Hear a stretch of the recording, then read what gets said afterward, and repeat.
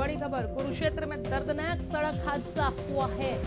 कुरुक्षेत्र से दर्दनाक सड़क हादसे की खबर आ रही है, जहाँ कार और कैंटर की जोरदार टक्कर हुई, जोरदार भिड़ंत हो गई। हादसे में कार सवार दो महिलाओं की मौत की खबर है। कुरुक्षेत्र में दर्दनाक सड़क हादसा। कुरुक्षेत्र से बड़ी खबर, ये ढान रोड पर हादसा हुआ है, बता दें आपको। कार और कैंटर की जोरदार टक्कर, कैथल से कुरुक्षेत्र लौट रहा था परिवार। कार सवार दो महिलाओं की मौत की खबर है। कुरुक्षेत्र में दर्दनाक सड़क हादसा। दो की मौत हो गई दो महिलाओं की ही मौत हुई है जो कार में सवार थी।